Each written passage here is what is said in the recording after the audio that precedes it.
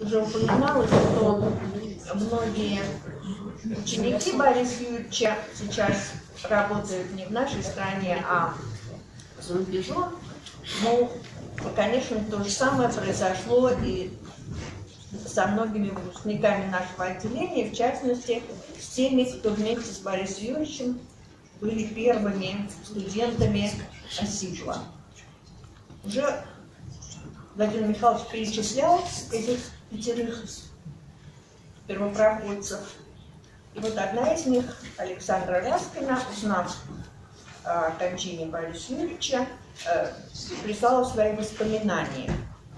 И я думаю, что поскольку не все, может быть, после нашего, нашей официальной части смогут пойти наверх, э, чтобы продолжить наше общение в неформальной обстановке, э, я хочу вас познакомить с, с этими воспоминаниями. Ольга Федоровна и написала и э, Саша Раскина э, ответила вот такими воспоминаниями. Память Егория Городецкого.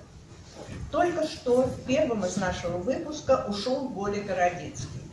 Пришла пора рассказать, каким он был, наш первый выпуск. Пять человек. Боря Городецкий, Оля Крутикова, Женя Лобов, Саша Раскина, Оля Шуметова. Нам очень повезло. Мы все были очень разными, из разных семей, разного воспитания или, например, разных отношений к Шихановичу. Кто его любил, а кто боялся до обморока и так далее. Думаю, что и политические наши убеждения, у кого они были, во многом не совпадали. Но я и сейчас этого точно не знаю. О политике мы не разговариваем. Никаких комсомольских дел тоже не помню. Даже не помню, кто был комсорг. Надеюсь, что не я. А вот старостной, помню, была Оля Крутикова. И вот за все пять лет мы друг с другом ни разу не поссорились. Нет, вру, один конфликт был, и как раз у всей группы с Борей. Было профсоюзное собрание группы, и мы должны были выбрать профорга, а Борина собрания не было.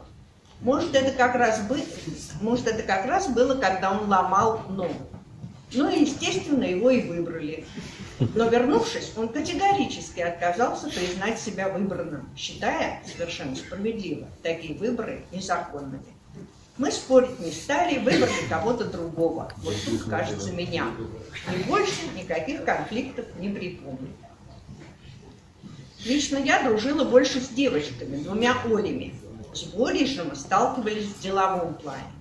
После одного из курсов у нас была общая с ним практика в Винити, у Шрейдера в секторе. Мы должны были создать информационно-поисковый язык для отрывка из книги Трахтенброта «Алгоритмы и машинное решение задач». Сейчас, век интернета, такое задание покажется устарелым и ненужным, но тогда для прочищения мозгов оно было полезным и довольно сложным. Думаю, что по способностям мы с Боди не уступали друг другу. Может, конечно, я себе льщу, но, по крайней мере, они были сопоставимы. Но вот по организованности и деловитости мышления, умению четко поставить задачу и составить план действий, он, безусловно, меня превосходил. Если бы я была одна, я, наверное, не смогла бы организовать задачу, поставить ее в рамки и неизбежно утонула бы в попытках формализовать весь русский язык. Боря сразу навел порядок, поставил нашему исследованию границы, и на очень ограниченном материале мы быстро создали изящный ИПЯ. Помню, что стереть, например, на этом ИПЯ было что-то вроде «сделать несуществующим» и тому подобное. Не безинтересно, что опыт создания таких искусственных языков на ограниченном материале не пропал для нас с Борей даром.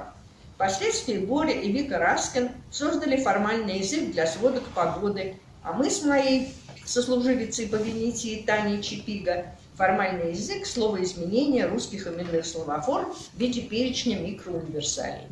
Мы с Таней очень гордились своим достижением. Но Железняк окатил нас холодной водой из ушата, сказав, но с глаголами у вас так ловко не получится. Мне очень понравилось работать с Борей, который мог четко поставить задачу и не давал мне улетать. И вот что я ему предложила. Мои родители дружили с известным ленинградским востоковедом Дьяконовым. Дьяконов знал, что я как-то связана с Венети, где есть ЭВМ. Тогда не говорили компьютеры, говорили электронно-вычислительные машины, ЭВМ, на которых делают подсчеты для Кнорозова, который расшифровывал тексты на языке майя.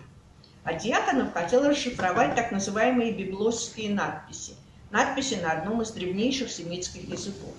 Он проделал какую-то предварительную работу и хотел, чтобы я подключила к этому ЭВМ. Я обратилась с этим к Шрейдеру, и он сказал, что может дать мне машинное время, но программистов дать не может, и все это я должна буду делать сама. И вот я чувствовала, что одна я этого не потяну.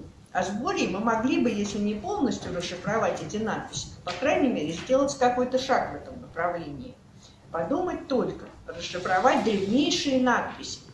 Уже я слышала гром фанфар, но Боря отказался принимать в этом участие. Я очень была разочарована. Но дело в том, что эта затея была какой-то журавль в небе, а Боря романтиком не был.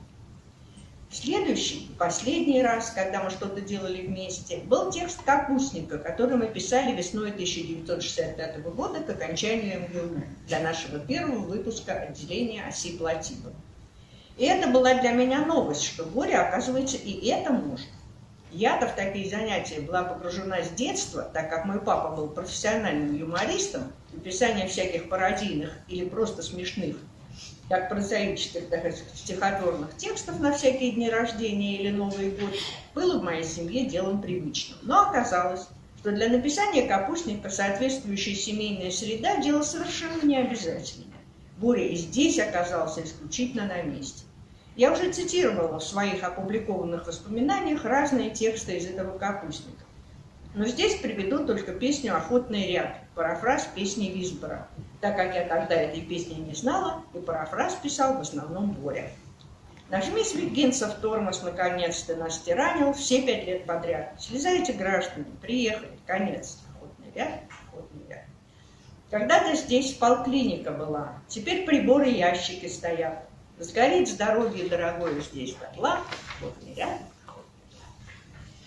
Подвале бродит кибрик молодой, глаза одной наукой угорят. Студентов мучат летней практикой своей. Охотный ряд, охотный ряд. Бывают дни, съезжаются отцы, Звегинцев, Жинкин, Кузнецов, Лурья. Лишь через «и» пишите огурцы. Охотный ряд, охотный ряд.